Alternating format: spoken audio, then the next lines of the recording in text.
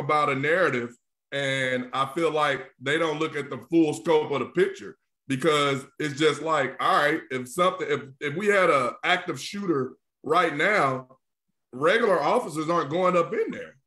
Right. And so you have to have that type of stuff. Like, let's be real. Can that happen? Yes. Has that happened in Atlanta? Yes.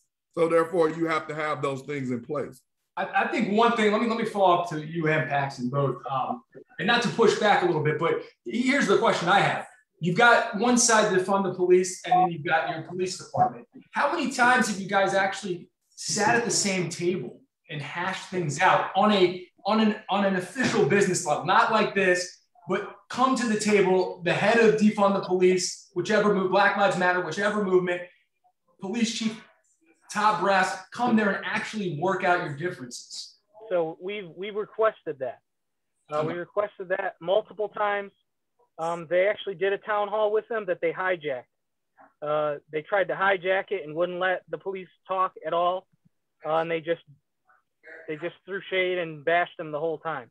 So the oh. second meeting, they controlled it where they weren't allowed to talk freely. They had to be called upon and they only had a certain amount of time. Then they just started writing messages and holding them up in front of the screen. Um, so there, there's probably some of them that are on the same page as, as uh, Audrey was saying, but a majority, a vast majority of them are anti-police. They don't want that training center built. And when we try to tell them what it's all about and how it's being funded um, without using city dollars so that funds can be used for other programs, they don't want to hear it. They just, and she did an interview. One of the people did an interview, and on the interview, she said, We don't want it at all. She came right out and just said it. We don't want it at all. Yeah, if you go, if, if sorry about that, sorry, but if you go on YouTube, uh, there's an article that came out this morning and the article is titled "In the Middle of Trying to Defund the Police, Atlanta is trying to build a fantasy land for their police officers," and they're, they're talking about the the academy. Now we started working on this when I was still there, and the, foundation has raised over eighty million dollars. So it's going to be paid for without any citizen having to spend a dime of, of their tax money towards this investment. Here's the bottom line. If we really want to put a stopgap in the middle of this crime, right, we're going to have to give power back to our police officers. Uh, I wrote a blog last month that every time someone steps in front of the microphone with a false narrative on the conduct of a police officer, when they know legitimately what they're saying is not true, Oh, no. What happened? You are here. Hey, mute, please mute. Mute yourself if you just came in the room, Danny. What's up, buddy? Mute yourself. Oh, sorry. Go ahead, Picard. All right, so every time uh, one of those false narratives go out you know, universal across the country, it takes power away from what we're trying to get accomplished. Uh, you know, there is some unicorn, I call them unicorn questions that never get answered and never get asked. Why did this person resist? Why did this person not comply? Why did it, it end up going bad? And those questions never get asked or answered. And if they don't, it subtracts from the power that the police have because now we have created a culture of resisting the police. And if an officer see that type of resistance coming, he's not going to want to be involved in that because he don't want to be on 2, 5, 46, and 11 at midnight or at 6 p.m., uh, you know, and the results leading to chaos in the city. We just got to figure a way how to empower our police officers because without it, we're, we're not going to be able to get anything accomplished. And a lot of that's going to come from the media is going to have to push back on these negative narratives. You can't keep telling bad stories. It, it takes away from the power of police officers. I think the power that the power the people like the politicians have to also speak out on exactly what you're talking about as well. because last summer everybody had so much to say. And now, as crime is soaring, don't many have too much to say. It's almost as if the mayor is trying to, hey, just be quiet until you can get up out of here. And it's one of those things where where's that same energy? Where is Antonio Brown them and all those people that were standing against law enforcement? If if you support them or you like say that, and that's all I think a lot of the officers want. A lot of the officers are confused because everything that they basically learned in academy pretty much got shaken up in a matter of two weeks. And it's like, uh, do I, don't I, do what I do, I don't know. And that's a problem because you only have a split second decision to make in some of these instances. And I took a trip to Chicago last summer, and their police department basically under uh, from the incident that happened at the Burger King, they say we're just going to answer the after the fact and take a police report. And although that's a technically that's not what they're supposed to do, like as a citizen, I wanted the officer, hey, he just stole my car, go get him. But when you when you when you neuter them, what do you expect them to do? It's like you got to pick and choose, like exactly what you said, Picard. What what do you want? Do you want? I want me personally. I want an officer that's aggressive, that's fair, that does his job according to what he's trained to do. I want him not to mistreat people. I want him to not abuse people. I want him to be honest, but I also want him to be active.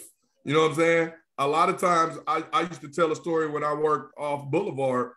The officers that came over there and really chased dope, chased dope, they found a way to complain on him and get him up out of there. Why? Because he was messing up the money. You know what I'm saying? And it's like a lot of times people don't want an aggressive officer, but then do you want an officer that sit there like the lady did in Detroit and let a person shooting at somebody drive by? No. So we got to decide what we want. Yeah, I think those are all great points, and and and I think that the other thing that you guys touched on again, I think, and I keep bringing up not just because I'm in the media, but it is hard because like you guys mentioned we can tell a good story and show an officer who's selfless and, and, doing things above and beyond. But then sure enough as soon as there's that one use of force and some video gets out that erases that whole narrative. And uh, and, and, that that is i think the, the hardest thing just in general right with social media the court of public opinion. I don't think it's just in policing so many people in this world are convicted i mean they are convicted and sentenced before you even know half of the story. So I think that that is difficult. But I also think, and this is just a civilian anyway, uh, pushing back, and you guys can take this from me.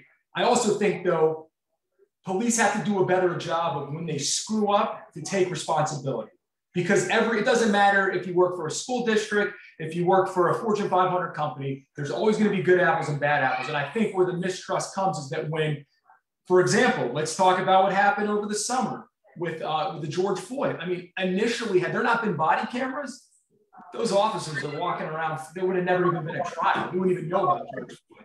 So the point is, is that like, if there's not that transparency on both sides, I don't think you can earn trust.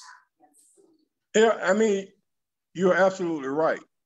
But what the public has to keep in mind, what everybody has to keep in mind, is that the punishment that the public think the officer deserves might not be uh, supported by the officer's rights, uh, state laws, so on and so forth.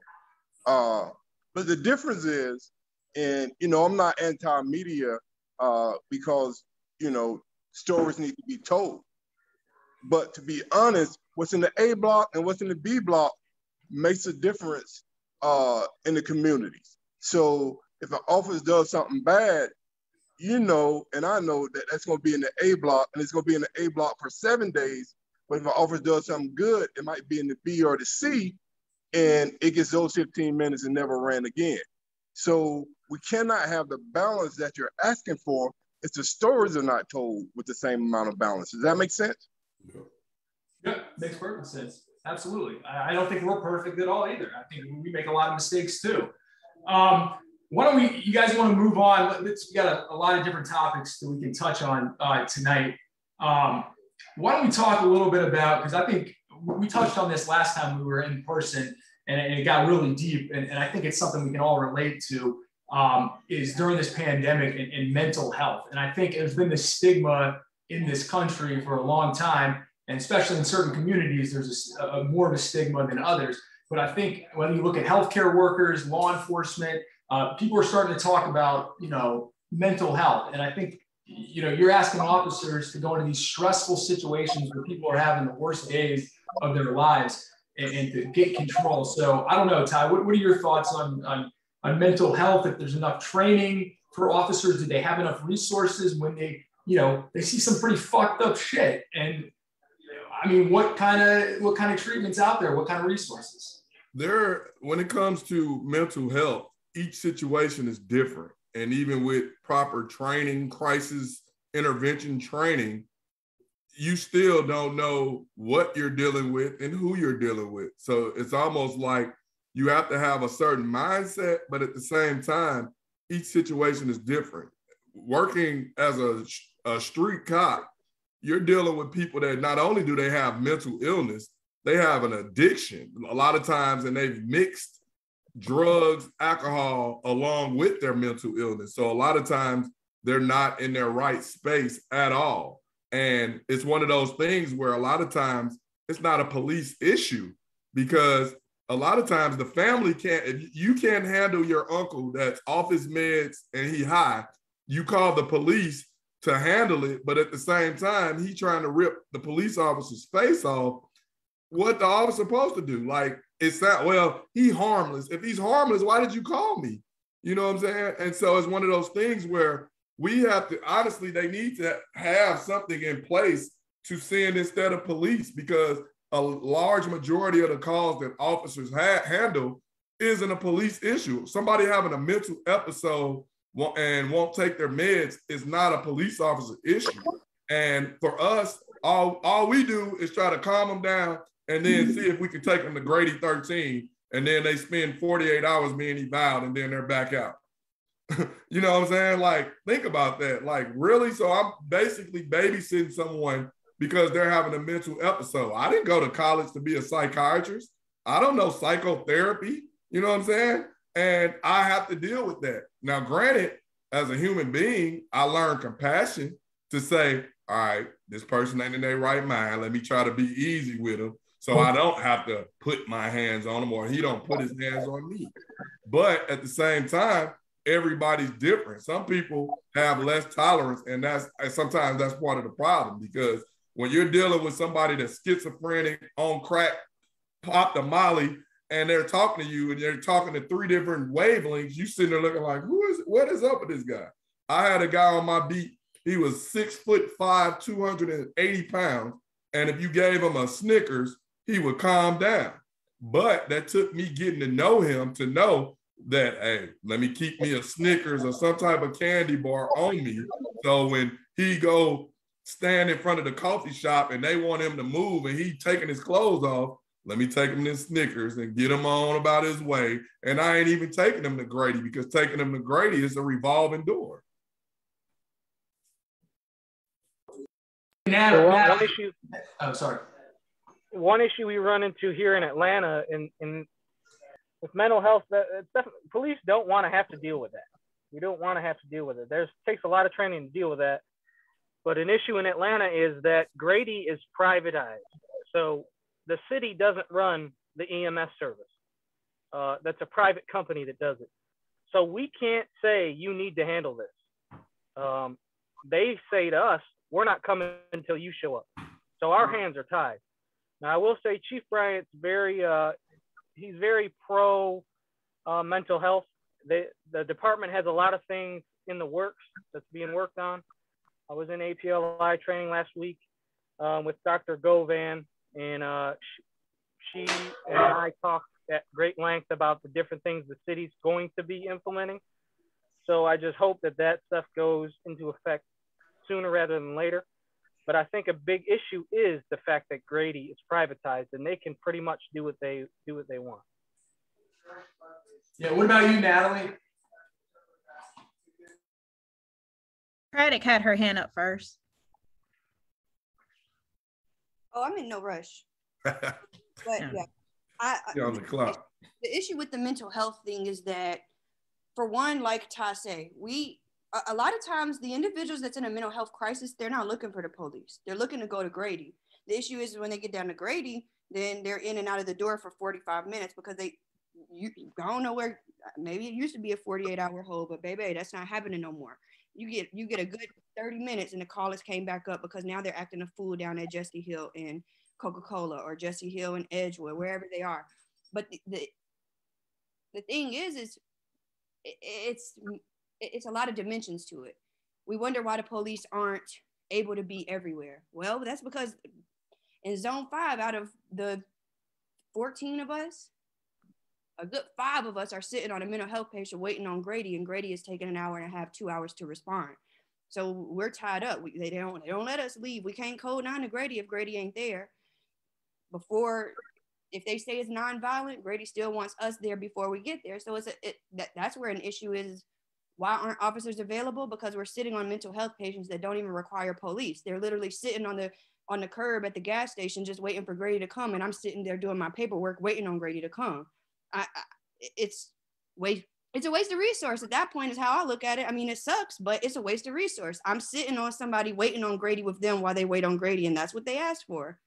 Um, but but that's what I have to do. It, I don't I don't get the option of, you know, well, Grady's on the way. If you need me, let me know. We don't we don't get that option. So then when Grady gets there, they they're fed up with them. And again, the call is going to come back up because they're just going to take them down to Grady or take them to Emory and they just release them. They don't, they don't, I don't know what their resources is or what their availability of medication and stuff like that. I don't know what their process is. I don't work for them, but it makes it hard for us because these are people that we're dealing with day in and day out. It gets ugly sometimes because they, they, they do get aggressive sometimes. Um, but it's what do we do? Our hands are tied. Police police are tied up with mental health patients. Grady is tied up on everything else and they're very short at the moment. Grady is super if we're low grady is even lower. We wait two two hours on grady to come out to a mental health patient and in that time there's robberies that are occurring there's other crimes that are occurring. It, it it's the i would love to know Patrick, what what the plans are because it, it would definitely be beneficial at this moment all right, Nat. Hello, Natalie from the GBI. Hey, um, you know, uh, like Craddock, and I know the officers are dealing every day with the most severe um, of of the mental health cases with substance abuse and um, you know homelessness and things like that. But National um, Alliance on Mental Illness um, that administers the CIT program, they have a statistic that one in five adults in the U.S experience mental illness in the average year. And now one in three adults report experiencing symptoms of anxiety or depression. Now, is that saying one in five adults that excluding police officers? That's all adults. So we, everybody is experiencing this. It may not be that extreme, these extreme cases, but you know, I think, you know, the, the public, they forget that we're people too, that we have problems. We have, you know, problems with relationships. We have financial problems, you know, our, our kids might be bad or something like that. So we're, we're having to deal with all of our everyday living, trying to make it, and then trying to go and deal with other people that are having the same and even worse um, issues mentally. So that's why, you know, I know, um, like Paxton said, that, you know, Chief Bryant ha- is really dedicated to, um, you know, to, to the, the, the, the wellness, not only physical, but mental of the officers because it is a lot. I spoke to one of my really good friends. She she's on the department and she saw she had like three gruesome scenes like back to back to back a couple weeks ago and she said like she and then when she got to like one last week she was like she she didn't even really think about it because it was nothing compared to what she had seen a couple weeks ago but you know you got to just think think about how we have got to take care of our officers this mental health and then the the physical health goes right along with it you know physical fitness and keep it has a lot to do with keeping your mind sharp and being able to react responsibly on the street I'm done. Sorry. Yeah, no, you make great points there, Natalie. And I think that that's the biggest thing. But, um, you know, you got to look at, like, I know Ty always says this, that people look at law enforcement as like robots. They sleep standing up. You guys just clock in, do your job, clock out, go home, don't have families, and all you do is sleep, breathe, and eat. Law enforcement, which is obviously not the reality of what you guys are dealing with. Um, Danny, you're going to make me puke with your videos. So we're going to ask you a question since you're up here. Um, obviously, you're one of the few civilians on this right now. What do you think, uh, in, in, general, um, just what you're seeing around Atlanta? I know you got a lot of connections to law enforcement. Um, what do you think are is the biggest issue right now that you see why why police aren't getting uh, the respect or even the support from some politicians?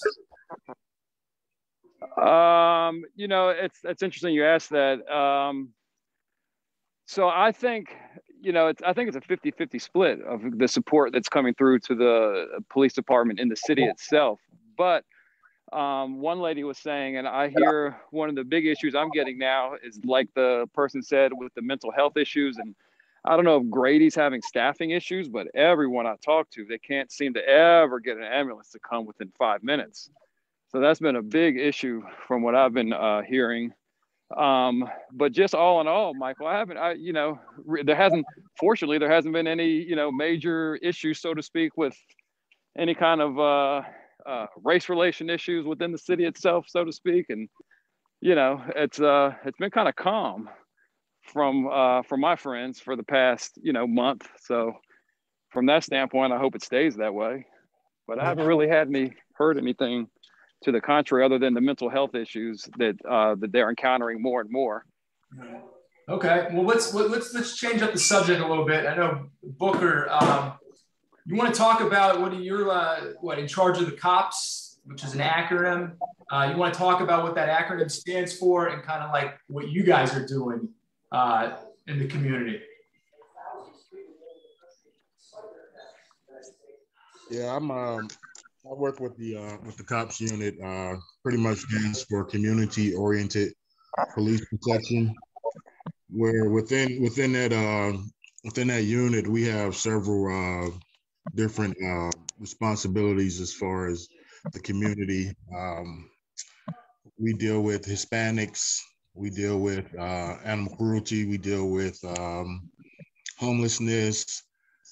Uh, we also deal with uh, the unit that I work in. We deal with uh, convicted felons as they get out of prison with uh, probation and parole.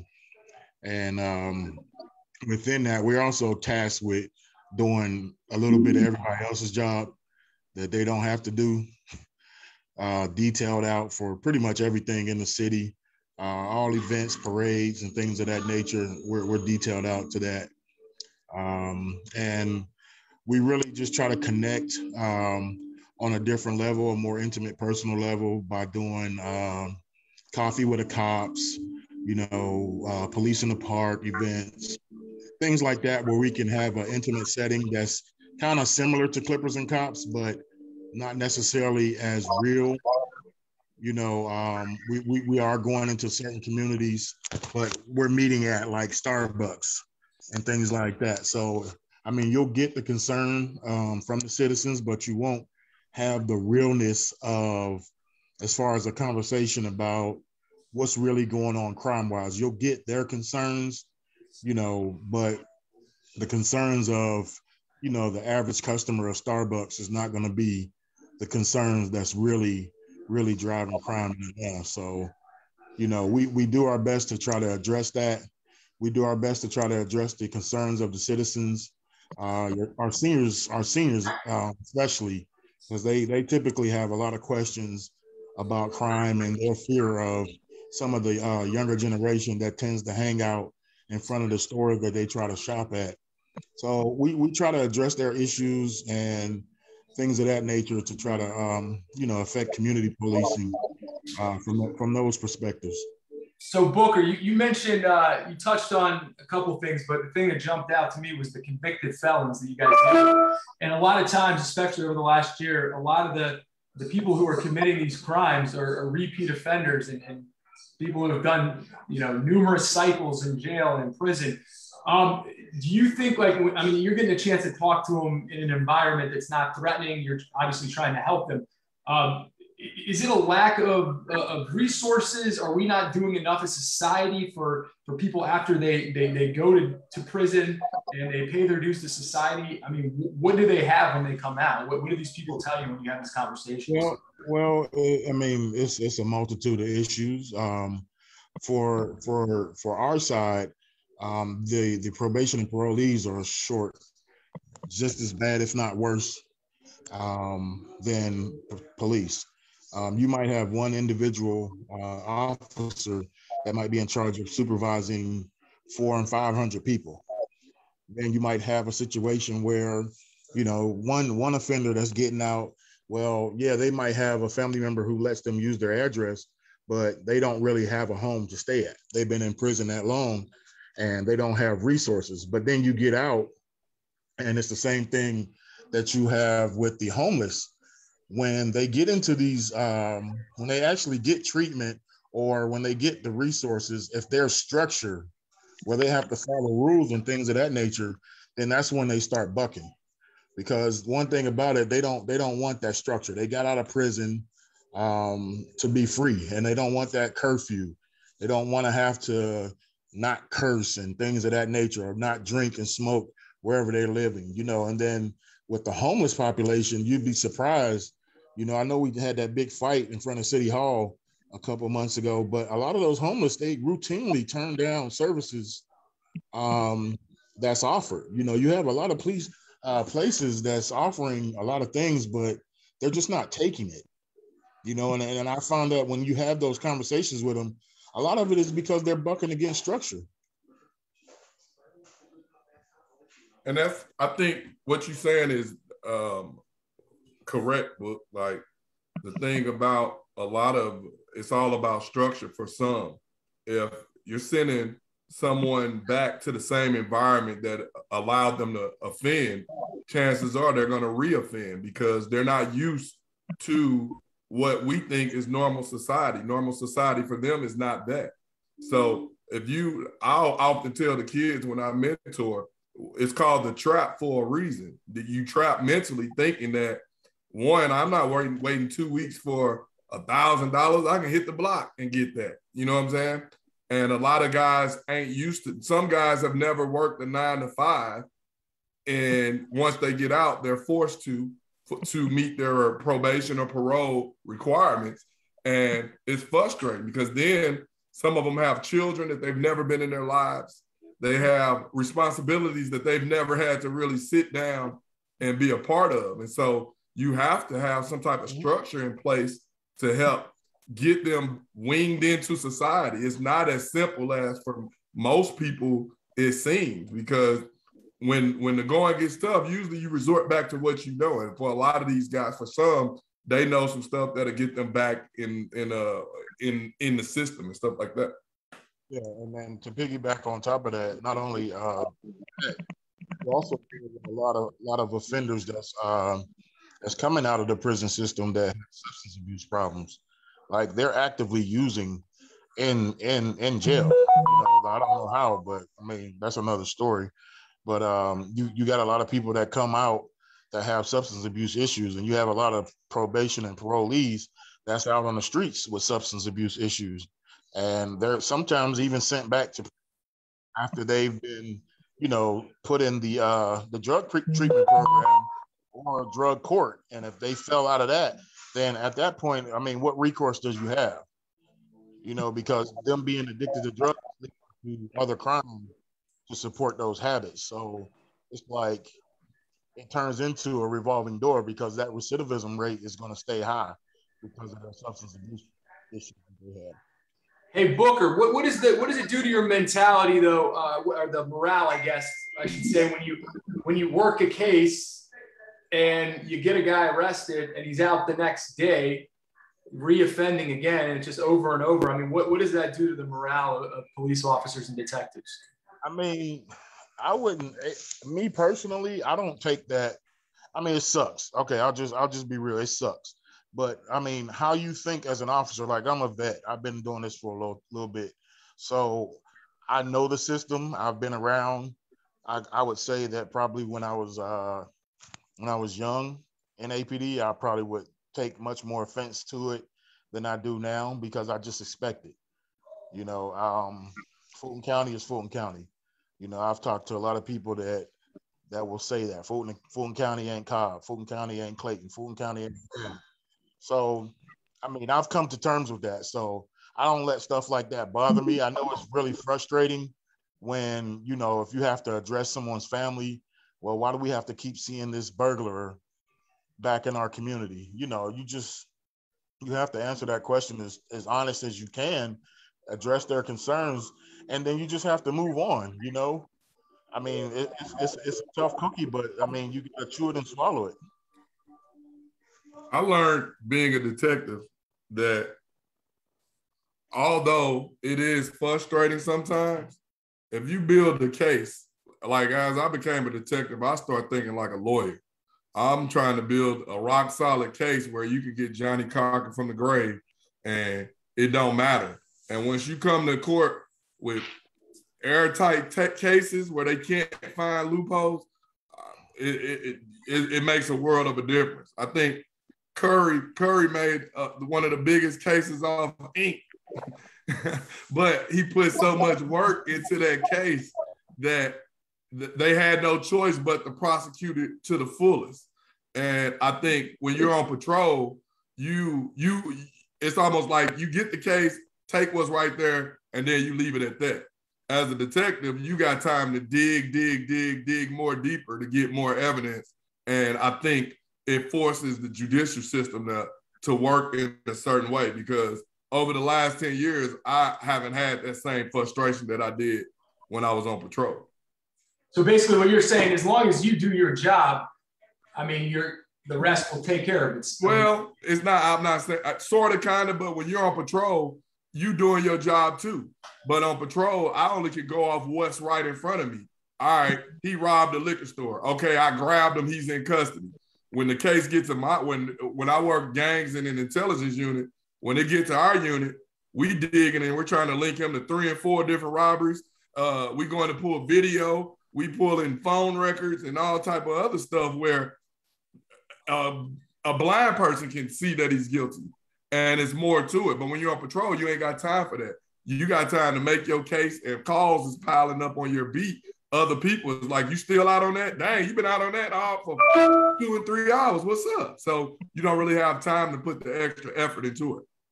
Yeah, you know, we got a saying, and sometimes a lot of reporters will say, you know, we're only as good as our sources. What about from a detective perspective? Um, a lot of people, you know, they don't want to snitch. They don't want to be the one, you know, you know, telling on people in their community. They don't want to say who the cancer is in their community. But I would imagine, I mean, there's damn good detectives. But at the end of the day, is it fair to say you're only as good as your sources? That that's part of policing though. And honestly, after you learn early on on patrol, it's just like all of us go through the academy. We get the same prop, same training. When you get out on the streets, you become whatever type of officer you want to become. And for some, they do their job and they go home. And then for some, they they got their ear to the street where, like for myself, a lot of times people call me with the information about the crime because they we had a relationship other than when I needed them. I didn't just call them just because somebody got shot. I called them when they their mama was sick. I, I, I mm-hmm. called them when they dog died. You know what I'm saying? We talk about the game and different stuff like that where they feel comfortable in talking to me so when something real happens, they trust that I can cultivate that information and leave them out of it. I'm not going to put them in the discovery package because I know what comes with that. And a lot of officers got to understand that. A lot of officers think, now that I'm here, I'm the law, you're going to tell me what you know or else. And it's like, risking my, you don't even talk to me on a regular basis. Why would I talk to you now? Yeah, that's a good point. Hey guys, we got about 40 minutes left in this. I know we've hit on a lot of topics. Does anybody have? I mean, you could, if you don't want to talk, if you're shy, you just want to put it in the chat. Does anybody have any topics they want they want us to hit on? Uh, obviously, this is this is an incredible resource here. We got we got retired officers here. We got detectives. Um, you know, so any question you have, I mean, really nothing's off limits except for ongoing investigation. So um, does anybody have any questions? If you're watching this on our Facebook stream, if you want to put the question right below uh, the stream, Um, again, this is uh, this is a time for the community, for anybody to ask any question they want. Um, you know, you're getting an opportunity to talk one-on-one with law enforcement. Anybody? Nobody's got anything. Well, what I'll do is, since we don't have anybody talking, I want to bring up Brian. He has a he has a um, a, a device uh, that he uh, promotes to kind of ease the tension between law enforcement and the in the community uh, dealing with a traffic stop. So, Brian, are you there? Are you... Uh, yeah, I'm here. Can you hear me? Yeah, we can hear you. So, yeah, I, talk about your your device that you have. Okay, I sure appreciate it. Okay, um, hey Dennis, what's going on, man? How you feeling? What's up? Brian was supposed to be in town for Clippers and Cops too, y'all, but hey, we had man, to cancel, man. man. I, I hated that I had everything booked and ready to go, man. But it's gonna come again, man. I can't wait to meet you guys, man, so we can shake hands, man. So definitely. So yeah, so what I've what I've did, man, to to make you guys' job easier, to make my life a whole lot easier, and to protect my son was create a product. And the product that I created is called a Pocket USA. So it's just in case if you're pulling someone over, they will already have their license and insurance in this product. So all you have to do is walk up to their vehicles and you will see both hands visible on the wheel and they will have their license and insurance on the outside of their vehicle. So all you will have to do is take this off their vehicle, take it to your vehicle and run a license. I've used to give them a ticket or a warning. You can place it right back in this product, attach it right back on their door. You drive away, they walk away. So this product makes sure that the driver don't have to move. It makes the driver know and feel more comfortable knowing that he doesn't have to move to make you feel comfortable as a police officer. So this was something I tried to do, man, just to protect my son. I created it for my son right before he started driving, just to make sure he survived encounters with police officers.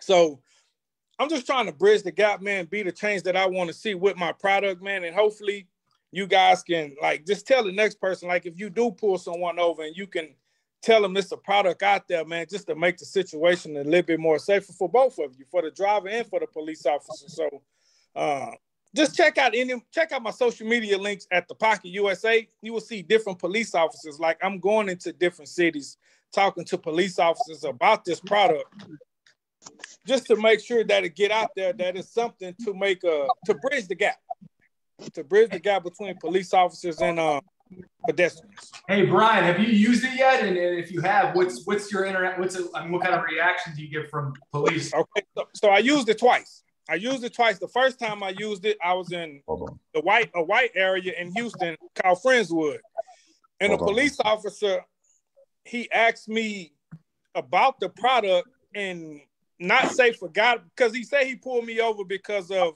my back tail light was out. Now I was in my work truck and I knew my back tail light went out, but you know, that's how police officers pull you over, right? That's one of the tactics they use. So he seen a product and he liked the product. I, I even went live on my product just to show in live real time how a police officer and how the product would work. The second time I got pulled over, I ran a stop sign. Police officer asked me for my license and insurance. I told him it was right there on the door. He didn't even take my license or go running. He, we sat there and talked about 10 minutes about this product of why I created it, what made me come up with it. And I told him it was for my son and to protect my son and all that. So he forgot about the ticket and he said he was just gonna talk about it every chance he get. So I did use it twice and it worked how it should work. I think if you can, is it possible, put your link in the chat and then if it's possible to send us some so that we can get them out there. It's like we gotta you gotta get them in rotation so people exactly. Can... And, and, that was my goal to meet you guys this time, man. Just to pass a couple out to each one of y'all, man, just to make sure when you get to your respective cities, you can just show the show show the public, man, show your community that is something that'll make them feel more comfortable if they was to get pulled over. Um, so so I have two versions, right? So this one, this was the original and this one is only $12.99 with free shipping. So this one only attached to your door if you have a metal door, because some vehicles are made of fiberglass and aluminum. The Pocket 2.0 is only $19.99 with free shipping. Now this one has a suction cup and it attached to your window or your door still with this magnet. Now I've been doing this for about it's going clo- close to a year now, and within a year, it's just me working this product on my own, foot to the foot to the pavement, like going into these communities, going into these barbershops. So right now, I'm in Toyota dealerships in Houston. I'm in Turo vehicles, and I'm in driver's ed schools. Three of them in Houston. Like, I'm really, I'm really trying to bridge the gap, man. I'm really trying to bridge the gap, and I'm doing it on my own, man. So just by you guys telling the next person about the Pocket USA, man, would be a big help to me. And I think one thing, and the thing about it is, it, it'll bring some, it'll bring, it actually most likely will shock an officer when they see the driver's license, everything on the outside. They'll be like, okay, well, you know, and you were lucky that in both cases not get a ticket because they want to conversate about the yeah, pocket. I my hair curly. Um, That's great. the card, the card, you need to mute. Yeah. So, you know, I think that's the that's the one thing that we definitely need to do. And we're we're going to start bringing other things that we can, you know, kind of help bridge the gap between law enforcement and the community filling that gap. But we also we have Mr. Reed on here. We ain't gonna let you slide out here, Mr. Reed. Don't think you're gonna slide out here. So we're gonna introduce Mr. Reed and let Mr. Reed talk about where he's from and what he does, because this is another side that we want to help the citizens with understand that if there's a problem, we have another way that you're dealing with an officer and you have something going on and want to file a complaint and it goes to a certain level. Mr. Reed, it's the floor. And I want to say again, thank you to you, Ty, and Scotty for being on the uh, the panel we did yesterday. Um, I'm Lee Reed, Executive Director of the Atlanta Citizen Review Board. And for those who may not know, um, our main charge is to investigate citizens' complaints against Atlanta police and correction officers. Uh, essentially, we operate as an external, um, external investigative arm of the city when it comes to uh, citizens' concerns about police officers' actions. But that's not all that we do. We also engage in community outreach and awareness. And a part of that is talking about not only knowing your rights, but knowing your responsibilities when you have to engage with officers. Um, because what we see on our end when it comes to complaints, there's a lot of a lot of lack of knowledge of what's happening when during an engagement. You know, we, we see times when um, officers may have done something wrong, but also where citizens could have benefited from knowing the uh, the right ways to interact. You know, so we want to bridge that gap also. You know, so that's really what we try to focus on, um, as well as doing our investigations. We also offer mediation program because every sometimes um, we'll get concerns and complaints about officers where it really a miscommunication or a misunderstanding that occurred that where the two both parties could benefit from having this conversation. And the good thing about that is one, the citizen is able to to um, get to this level where there's a mutual respect and understanding of, for each other and for the, between the citizen and officer, and a learning and teaching moment for the citizen and officer as well. Um, so we we really uh, excited about that program. There's other cities that use mediation um, as a as an opportunity to bridge the gap. And then when we talk about benefits of it um, for the officer, uh, if they, they receive a complaint and the citizen and officer are able to work out some type of resolution, that's a complaint that we don't even send over to the uh, police department. It's like it, it just dies right there. Um, so we like trying to push that out, and we and it's not for every type of complaint. It's for those lower level uh, hurt feeling types of complaints that uh, could benefit from a discussion. So that's where that's where we are, and and I want to again applaud you guys for Clippers and Cops because I see it as as something very valuable for the community, and we're going to keep pushing it on our end because we want citizens to be able to, you know, one of the things when we go out and train people uh, about knowing your rights, they still want to hear from, well, what does a street officer say? You know, they, they still want to hear that interaction, but not just in a law enforcement capacity, but in a capacity where we just talk, you know, and, and, and, and while I brought that up, I think someone had mentioned earlier about, um, maybe we were talking about this yesterday, about the, the humanity of officers and citizens. I think sometimes what happens um, when we're looking at certain complaints or talking with the community, we all forget that we're talking with no matter what uniform you're wearing or clothes you're wearing, you're still talking with the individual, with the human. And the moment we stop uh, looking at there's humans inside the uniform, humans inside the clothes, then we we're definitely gonna have a problem. You know, so that that's what I wanted to say. And thank you for the opportunity to be able to speak speak on that. And I'm gonna be checking these clippers and cops out quite a bit. This is my third one, so I'm gonna definitely be checking them out because one of the things that I love about this too is actually hearing you all talk and the community talk. Um, it gives me additional things to think about and information to pass along to our, our agency and to and the people that we speak to. So I think this is great, definitely. Hey, one question I had though for uh, the pocket. Um, how do you keep the water out of it when it's raining or anything like that? I don't know if he's still on here. Is there on. Brian. I mean, I'm just looking at it. Unmute yourself, Brian. Boy, Dennis be on it. I sure don't know how to work this thing. But um, yeah, I got these two two uh, little open holes in here, man. Just if it is raining, that the water will just come out. Okay. If it is raining, but it's it's it's it's pretty tight, man. Like the it's pretty tight just to fit your um, license and insurance in there. So. Okay. Appreciate the question though. Yeah. So another thing that we, you know, the city of Atlanta is open at transparency uh, with involved in officers involved shootings is to kind of take it off the department.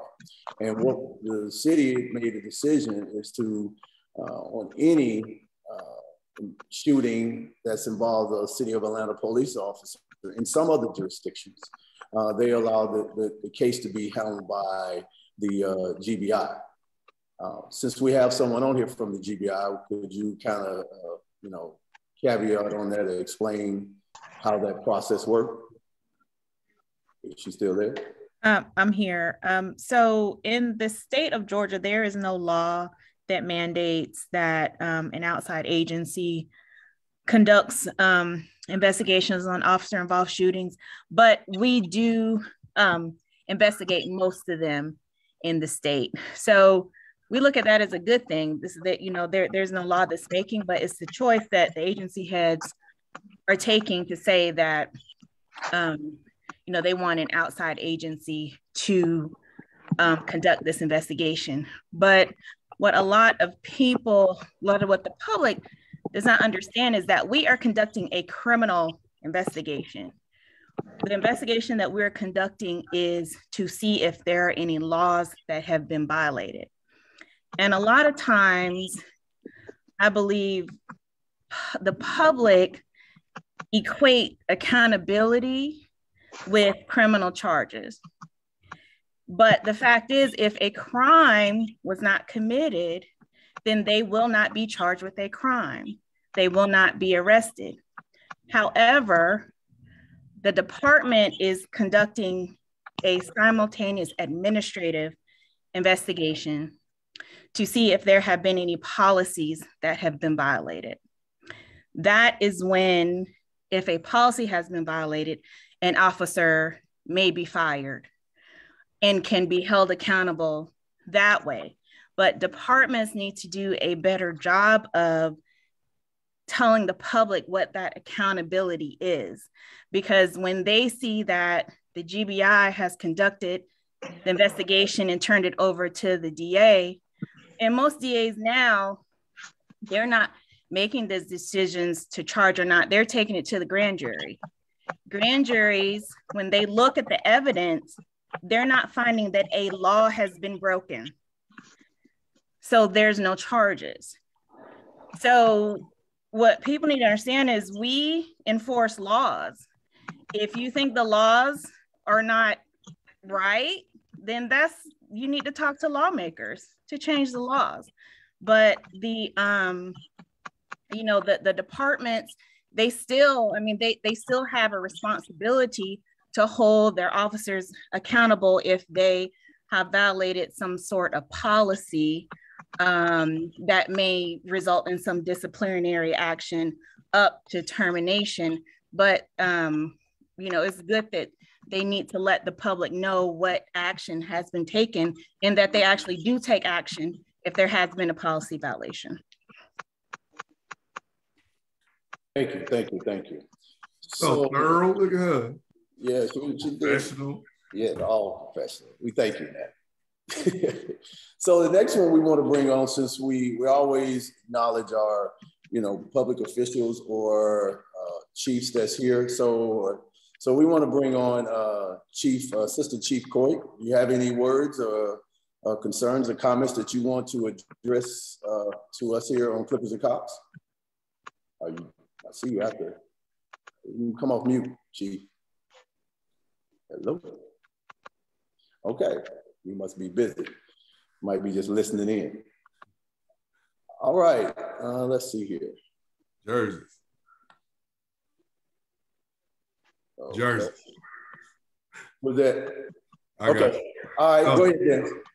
So everybody been uh I don't know if y'all noticed since we've been doing Clippers and Cops almost three years. Every time I always wear something different that represents Clippers and Cops. And the whole goal is to get our merchandise up and try to, you know, a lot of people want to support and we don't have ways to do it. So I came up with a cool way where we can customize jerseys. Yay. So that's what I got on. And basically, uh, we're still in the infant stage of trying to get a lot of people like, where the link? Where it is? We we we bootleg right now. So uh, if you can email, text, or something like that, uh, what I need the size, what you want, and then it's a hundred dollars to get started. And then each one of the patches is 10. And we can pretty much customize it to your liking. And the whole goal is basically we want people to represent Clippers and Cops. And I think this is a cool way to do it. And uh, basically also being true to you and where you're from. There's a lot of people that's from different cities that know about and want to support as well. And uh, it's a good way to get what we're doing out. A lot of people don't know what we're doing. They don't know what we're about. And when they, like yesterday, Lee, when we were on the panel for NACOLE, people were shocked that we're doing this and like we don't get paid to do this and you know what i'm saying a lot of this stuff comes out of our own pocket and things like that. So is this is one way for us to try to help fund some of the stuff. Like the last one we had food. My buddy uh, provided that food uh, no cost you know? So uh, this is just a way for us to try to do it. A lot of people have already ordered. So if you can get it uh, i think uh, you can send it through the PayPal account as well. And uh, it's about a four to six week turnaround to get it created. And uh, hopefully we'll see you in a Clippers and Cops pro model jersey too. Well, thanks, Ted. Thanks, Ty. Well, what we want to do is uh, the one thing that we really, really try to bring forth here is the opportunity for you to have the public to have, you know, some engagement with, you know, officers. So if anybody out there, any citizen that wants to come up and something that you have saw or something that you have a question about or concern about, this is your opportunity. And so no matter where you're at, we got people from all over. We got people from Houston. We got people from Memphis on here. We got people from uh, North Carolina, Virginia. So, you know, every agency um, you know, as a police officer, we're there to serve and protect. That's what we're there to do. And sometimes we all know that we as officers, sometimes, you know, there's a fine line. And sometime during that fine line, we might cross that line. And when we do cross that line, there's accountability that we all have when we cross that line. Now, how do we cross it? And how do citizens able to make a complaint is one way. Because, you know, one thing that we have to look at is, you know, there is a complaint process that we have to go through as well. And how do you complain? What is the what is the procedures? You know, do I go down to the police station? Do I send a letter in? Do I email? Well, you can do all of those. You can do all of those if you have a complaint uh, on an officer uh, based on the situation. Now, there's there's all levels, and you know when you file those complaints, some people say, well, you know, they're just going to overlook my complaint. Well, not necessarily because if that is a problem, systemic problem, then the department has to take a look at it. And if you've sent it in more than one avenue, somebody is going to look at it. And sometimes that will also uh, help an officer, uh, help other officers as well, because if they have someone there that they don't even know that they are corrupt or doing something unethical, then they won't know. I know I've got OPS packages or been in internal affairs based off something that somebody else did. And I just showed up on the scene and I was put into it because one thing, they saw my name and they saw the other officer's name. But then after it all got worked out, you know, that other officer had to pay the, you know, the concept, make the consequences and deal with that accordingly. So what we want to do is any citizens out there, if you have any questions, unmute yourself, come on up and ask the question, because this is your opportunity to address street officers.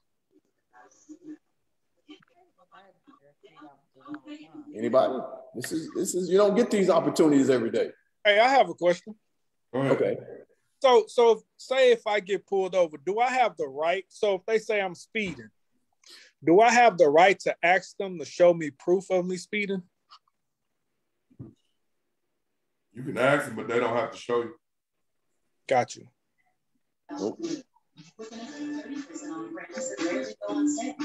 Guys, can y'all hear me? Yeah, go ahead, Booker. Crystal, mute yourself. Huh? Hold on. Mute yourself. Oh, I thought it was muted. Thought it was muted. Okay, so we had a question in the chat that uh, basically asked, uh, what do you guys as law enforcement think about using cameras or surveillance to detect guns in public places? Is that privacy concern? Um, is it well received or is it skeptical? I asked for kind of clarification on, um, you know, was he was he talking about some type of technology that can see through clothes? His response was my specific my specific thought was after the talk about Pocket USA, if there's a traffic stop and an officer has a body cam or something that sees a gun and is able to do something about it, if it notifies another officer or partner or something that a gun had been spotted. What, uh, I, let me jump in on that. In the state of Georgia, we got some of the most lenient gun laws. And just because there's a gun present doesn't mean that it's illegal. And in the state of Georgia, you don't even have to have, uh, I think, a gun license to have a gun.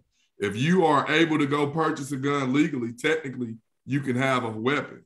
So, if even if we detected a gun, that doesn't necessarily mean that there's a crime being committed. Now, it's good to know.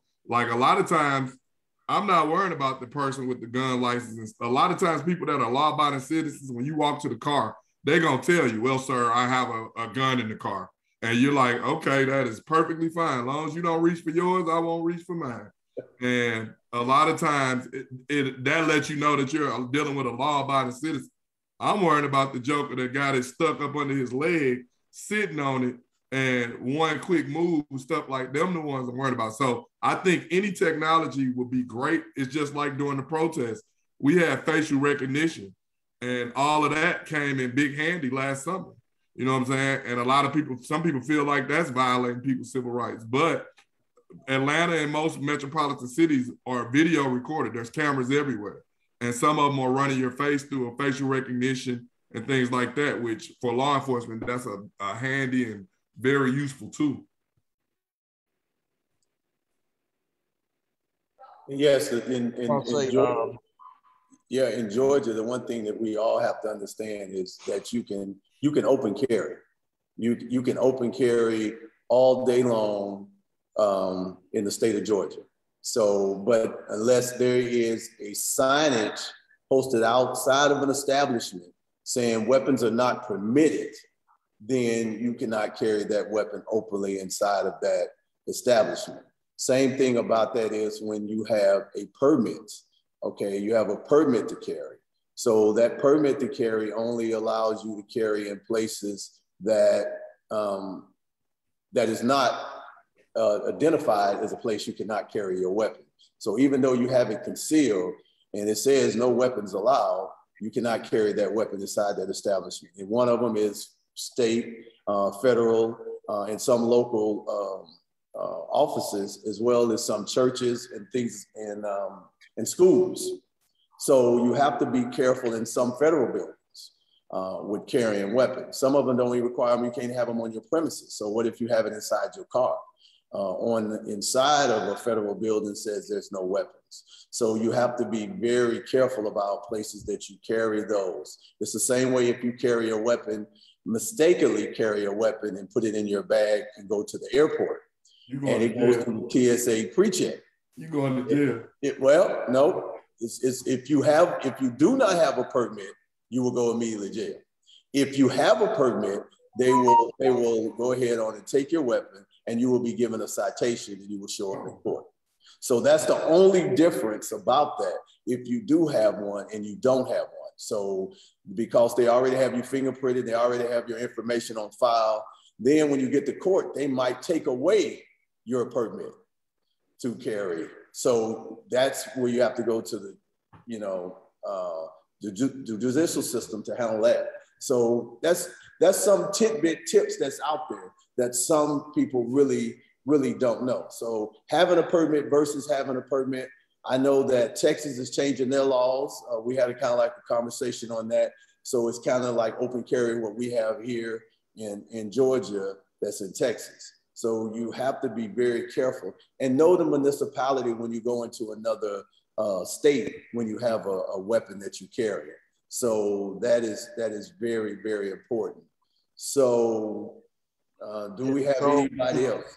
Somebody hold on. Else? So, so uh, to address uh, Nathan's question, okay, kind of like you know you know hit on it, but I think I just saw him uh, post something that he's in Iowa. Um, let me kind of read it. Uh, he says, so I'm from Iowa and we have similar laws or not needing a permit to carry. I was just curious, the general thoughts, but it's the same concept if it's put up really in any public place, school, airport, etc. Right. So so Nathan, basically, um, we we're not we're not walking around actively carrying that type of technology unless they can put it in the Oculus of sorts and we walk like a VBR or something around our eyes or something that can see through cars outside of that, there's really no technology that I know of that on a traffic stop that we will be able to like see those type of objects inside of a vehicle. But just like the officers addressed previously, you're running into issues where, you know, it's not illegal to carry. So I, I, I doubt that that would be a situation where, you know, that technology would even kind of exist. Well, you know, I think I think it's somebody had brought it up before. It's, it's very strange how that you can go and purchase a gun. Don't have to have no permit, don't have to have anything when you purchase that gun. But if you go buy a car, you got to have a driver's license. You got to go sometimes as driver's ed, and that car is something that you you can you control. So you know, we say, okay, I understand Second Amendment rights and all this rights to bear arms, but I think in one case of it, it would kind of make it a little bit more simpler if they say, okay, yes, you're gonna have a weapon, but you need to be trained on that weapon because really people really don't understand. A large amount of people that have weapons and don't know how to use them, most likely it will be to have their weapon taken and used against them. But I think the great Warren Picard taught us in the academy yes. that on every encounter, police encounter, a gun is present.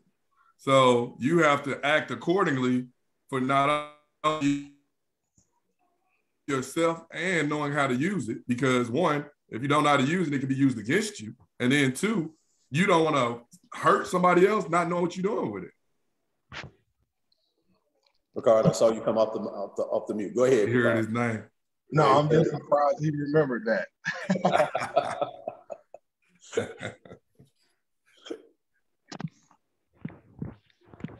Anything? Anybody else? We got some more citizens out there. Come on, y'all. This is your opportunity. Don't be shy. Hi, th- this is me, Kelvin. Um, how you doing? Um, I was typing it in, but the opening came up. So I'll say this. I'm in the military. I've been in for almost two generations. We have a culture in the military where if if if we see anything wrong, and it's regardless of rank, if it's a it's a enlisted person, sergeant major, all the way up to officer, if we see something wrong, especially the big things like sexual harassment, see something, say something. I wonder in your culture in law enforcement, is there such a culture where when some of you guys peer to peer see something that ain't right and somebody's on the wrong track, not doing the right thing, that you guys will grab them up or do you turn the other way? Is there is there an inclination to want to turn the other way? Because when you make that call you want the cavalry coming. You don't want to be blacklisted. You don't want the you want that backup coming. But is there a culture that there's the courage to say you're wrong man and you're making us look bad because me personally i have a lot of friends being in the military who are law enforcement and I I am absolutely not with that um, defund the police. We need police because there are people that look just like me that I want to go to jail. Okay, they need to go to jail, right. but we need the good, honest people. You know, I know that there's some good cops there that are tired of of the bad ones making them look bad. You know, so is there a culture within your culture in your society that really says, you know, hey, I'm gonna grab this guy up, man. You're making us look bad. Don't do that again. I see where you're heading, or whatever. That you have the courage and the openness and the freedom to say something.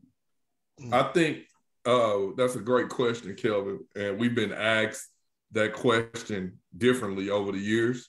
And it's one of those things from a law enforcement standpoint. Most of us in here are very vocal and for me, anytime I've ever had, I've had to call the FBI and get somebody to lose their job. So, and it's one of those things where nobody hates a dirty cop or somebody doing something wrong than a good cop. And your moral compass should tell you, I don't want nobody treating this person like they, if that could be my brother, that could be my sister, that could be my family.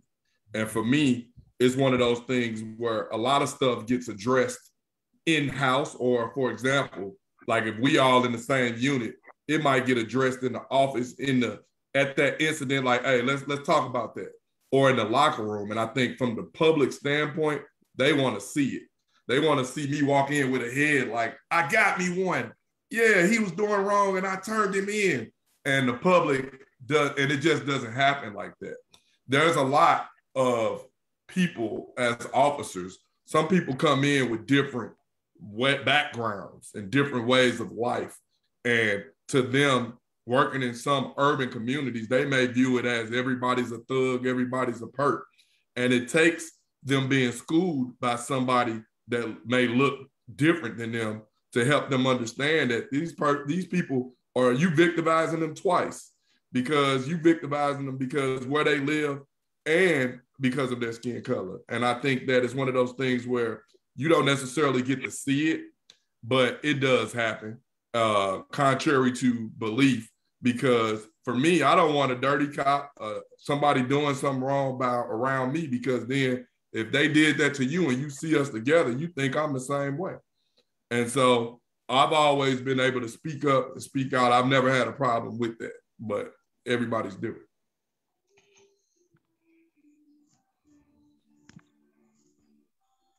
Yeah, in most cases, most cases of that, you know, it, it comes into several stages.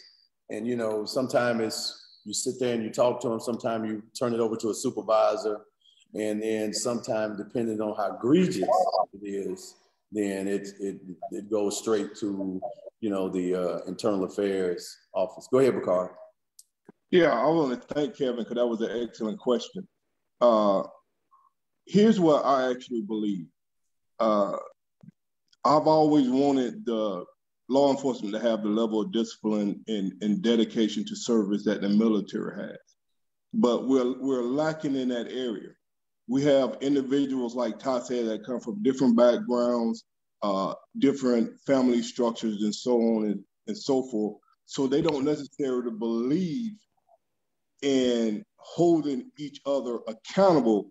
They believe in individual accountability. So they expect that person to step up and take responsibility and take ownership of their shortcomings, but that doesn't always happen. So we need individuals to step up. I worked in internal affairs for nine years investigating uh, inappropriate behavior from police officers. And I would get letters in the mail from police officers saying that, Picard, I'm writing you because I know that you will hold uh, someone accountable for their actions. Uh, and I will always write them back and say, thank you for the letter, but send it to your supervisor. And I will wait, you know, 20, 30 days to see if the supervisor took any action or, or even if that communication ever happened. But I'll still end up doing the investigation because that communication didn't happen. And when it come down to the bottom of why it didn't happen, it's because everyone wants to be liked and they do not want to jeopardize because uh, these careers alone, when you step into law enforcement, you're talking about 30 and 20 year careers.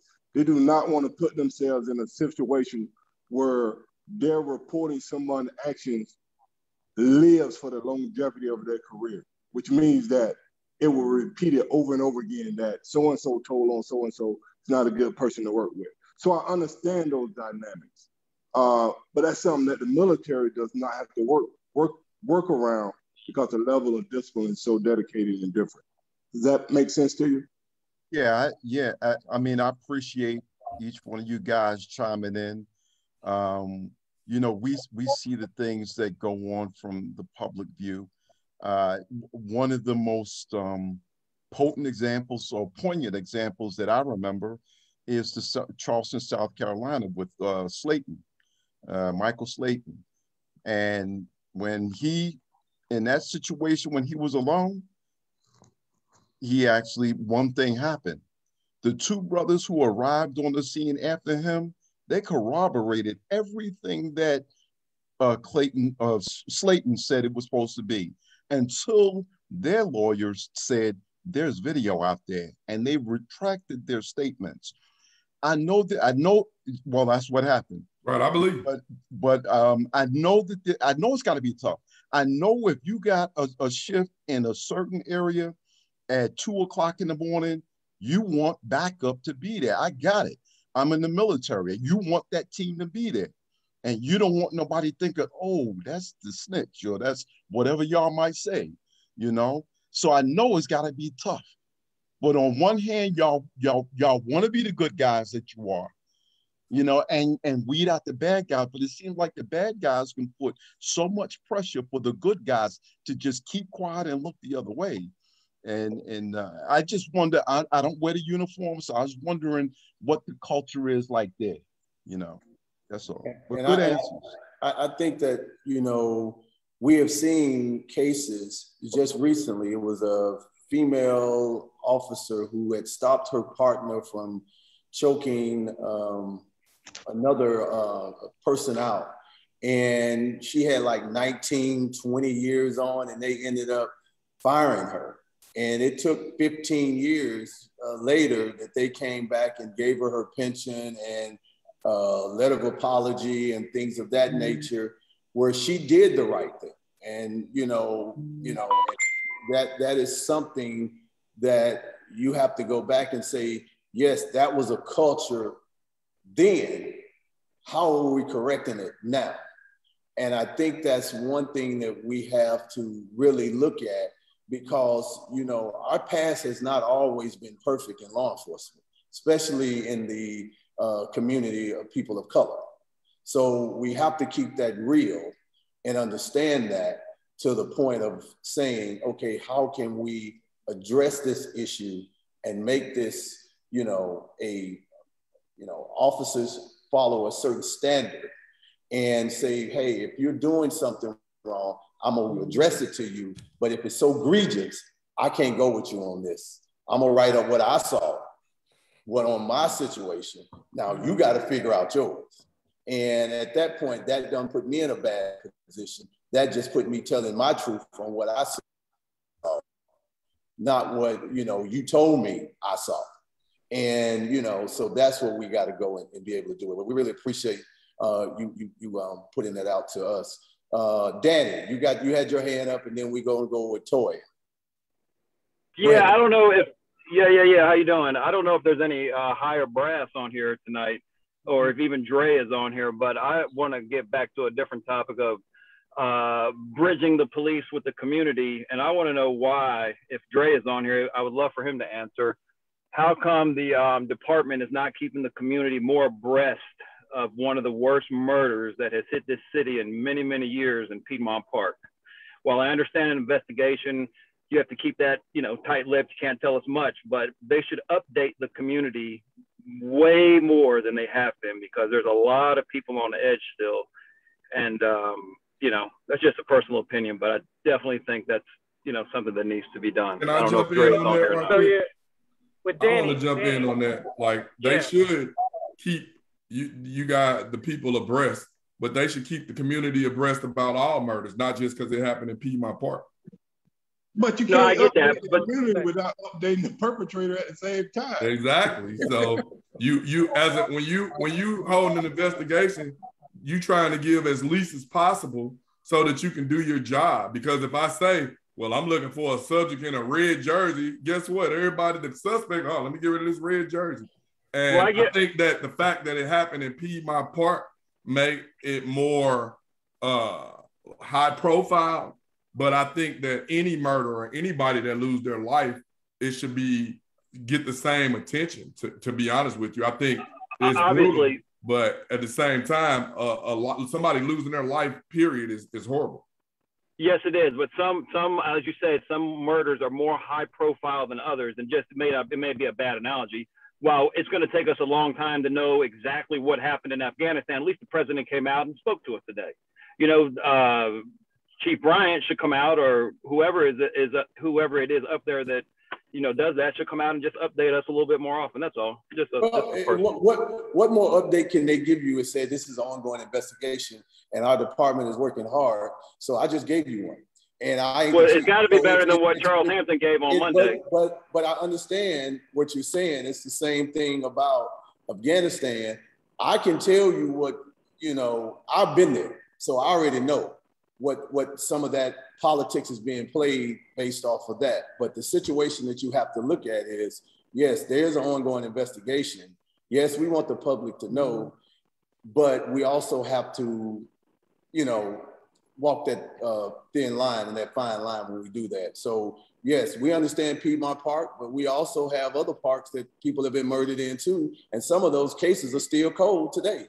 So you know we have to look at that and say, hey, how can we make that better? Somebody knows something, but it's somebody coming forth and telling what they're doing, and then before you know it, the chief will come up on the stage and say, hey, we we we have a, you know a person in custody for for that, and that will just come out at the press. So we will we will address that. But I'm gonna I'm gonna hit somebody real quick. Toy and Chris Christelle, uh, go ahead, Jones. I know you got a rebuttal. Go ahead, Kate uh, Jones. I'm talking to you. Get him. Can you hear me? We yeah. can hear you. So, um, I mean, I agree with that. We can't update. I'm talking to Danny uh, Danny need to go ahead and apply for police because he always trying to tell somebody what they need to be doing. but you you can't update. I'm scared of guns. You know that.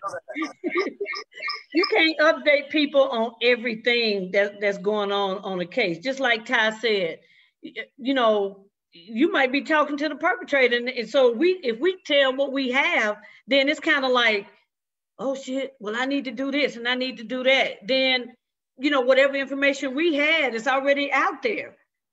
I mean, is there something about that case you want to tell us? No, no, I, I totally, I totally get where you're coming from. Maybe I'm trying to say more so to try to continue to make the residents, especially in that area, more at ease rather than more on edge. That's all. I, I understand get every exactly murder what has, you- you know. I get exactly what you're saying, and you are correct.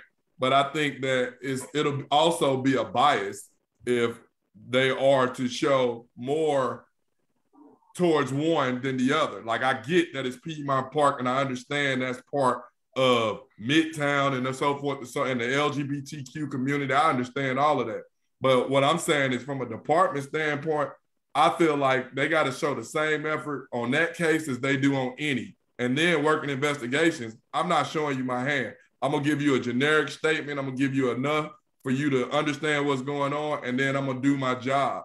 I don't care about what the public know or not, because until that person is caught, I don't want to inform the killer of what I'm doing so he can try to defeat me and stay make my work harder.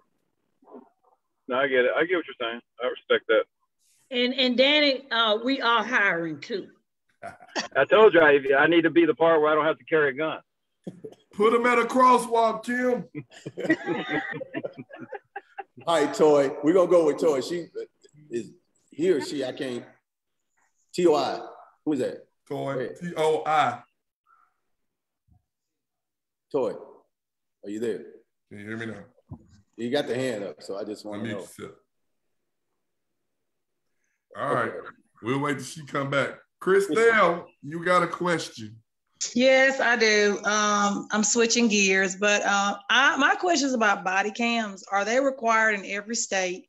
And if an officer does not have his body cam on, are there any re- repercussions? Is he reprimanded? Is that Yes. something that? Oh yes. Let me answer that one. right before I got I retired, I got jammed up for not having mine on.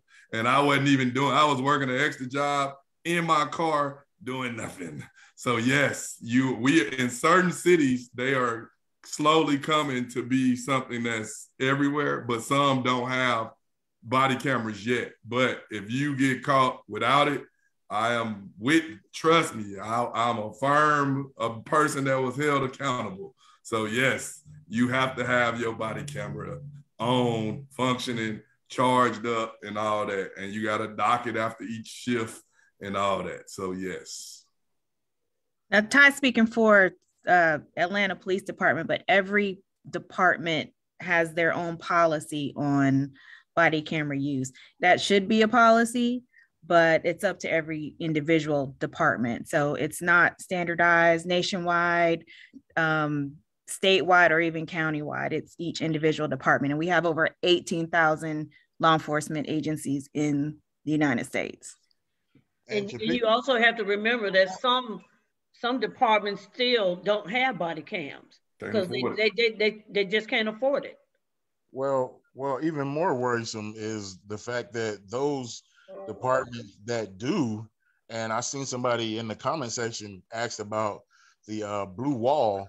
Some some departments that do have body cam footages, you have like situations that I think I just saw a story where an incident just came to light um, based on something that happened two years ago, and it was on body camera. And I'm sure the superiors in that department did see that their officer violated, but why is it two years later and it's just coming to light? So you have to deal with that as well. You have powers that be that you know don't look at body camera footage as holding their uh, officers accountable. So that's an issue in and of itself.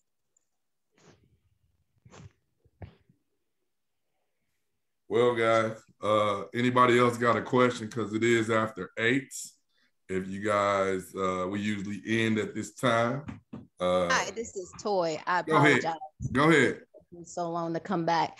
I just had a quick, just actually looking for some comments from you all in regards to, I just heard a quick blurb on uh, NPR this week about officers being there. There was a grant awarded about officers being trained to actually um, collect blood, draw blood at a scene to see whether a person is test, test positive for alcohol or drugs. What are you all's thoughts on that? And uh, that's it. Don't, anybody that worked, I don't think nobody in here worked DUIs, and I'm not familiar with it, but a lot, they do take a lot of training in reference to what they do and how to administer. So I don't know if somebody that's uh, in that field uh, have they been mandated to do that or not. But usually they got different, a whole lot of different training that goes into a DUI officer. It's not just somebody that says, I want to pull people over for being drunk. Like, no, nah, usually the other officers call the DUI officer because he's uh, more trained in that field of work. Ty, is Craddock still on? So there's a so there's a sep- a totally separate officer. So if I get pulled over and I'm suspected of drinking, there's mm-hmm. another officer that is called to the scene to do any kind of testing or anything like that on me? Correct, because when it goes to court, they're going to ask what type of field sobriety test, what type of training you have to administer the field sobriety test. Uh, so just like a traffic cop, just like a traffic cop uh, administering radar or a laser, they're going to ask you what type of training have you had was it calibrated different things like that? So yes they they have to there's a whole different office. If you look at the the wendy's incident that's exactly what happened in that. The first officer uh, was a regular officer and then i think officer Rolfe was a dui officer. I'm i'm, I'm come i'm gonna track that from you. That's not necessarily the case. It doesn't necessarily have to be someone from our hit and run unit. I mean, from the DUI unit, from the hit unit is what we call it some of us are actually trained um, for the DUI. In regards to the blood draw, um, the you would have to get consent. Um, it, only would it be exigent circumstances where we would be able to take the blood without them um, without them consenting. And in order to do so, you would have to have a search warrant to do that. Um, so of course, you would have to go in front of a, ju- a judge, tell them why. An exigent circumstance would be they're passed out and you can't determine whether it's drugs or any other medical, you know, if it's what type of drug it is or if it's medically related at all, you would be able to draw blood at that point um, with a search warrant. But you can't just you can't just shove a needle in somebody's arm and take their blood without them either consenting. So what we would do is generally, if it's if you suspect it's alcohol, you would read the implied consent card. You would say, "Do you submit to the testing of your breath?" And they'll say yes or no. If they say no, you'll ask them if they want to do blood. Or if they get down to the station and they can't blow, you can ask them if they'll do blood. But if they say no, you can't do it, and you can't just make force them or make them give their blood unless you get a search warrant. Craddock, oh. that wasn't the question. The question yeah, was. I was just yeah because you know like I said it was I understand all about about consent, but they were I was just getting you all's thoughts about the entire process of now taking blood, having the police officer have the ability yeah. to draw the blood on the scene of whatever is going on to be tested for drugs or alcohol. I mean, I see, I see that Gypstick is offering it as a class. It's called Officer Phlebotomy. I, I'm not going to do it because I'm not messing up, but it is an option. I, I, I don't feel comfortable do. I wouldn't do that. I, I don't like blood as is, but nonetheless, I'm not taking nobody's blood. But I mean, I feel like if you're comfortable with it, because Grady's Grady gives pushback. And the reason why is because if you take some, if you take, if you take a, an arrestee, a DUI arrestee, Bryson, be quiet. If you take a DUI arrestee to Grady and ask them to draw their blood, and they even have consented for it, the nurse is going to be she she may she may and very likely is going to give you pushback because once they take the blood, once the nurse at the hospital takes the blood, once it goes to court, they're going to be subpoenaed and they don't want to show up in court. And, and just some background, real quick. I'm just looking this up. Uh, so basically, it looks like for the beginning, it's just going to be state troopers, um, and then a couple specialized units, the HEAT teams and the Nighthawks. And it starts in October. But I guess there's like 12 states already that are doing this. So I don't know. It sounds like state troopers are uh, state troopers are definitely taking your blood. So y'all better be ready. Any other questions? Speak now, forever hold your peace until the next time. Well, hey, can I go real quick? I, I would just like